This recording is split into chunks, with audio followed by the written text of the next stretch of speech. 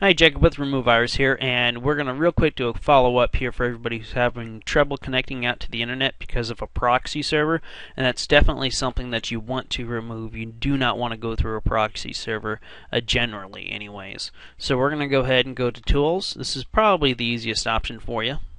Let's see if we can't move this browser up a bit. Let's hop over to Tools, Internet Options. And I'm doing this on Windows 7. Doesn't really matter because we're using a IE 8 or 7, I forget which.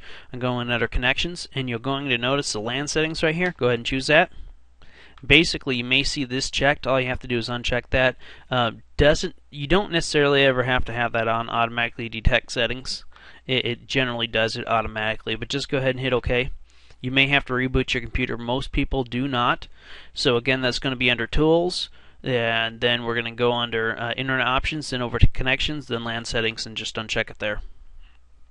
And if you're continuing to have issues go ahead and reboot your computer. One thing we do have in our sidebar used to have anyways. Yep, we still have them. It's the uh, IE uh, reset tool, and that's made by Microsoft as well as a host file reset tool. Again, that is made by Microsoft themselves. So both of those can help. It just depends on the exact situation you're having. But that is how you uncheck. Um, if you're having problems connecting to the internet, that's how you uncheck and remove any proxy that's there. Take care.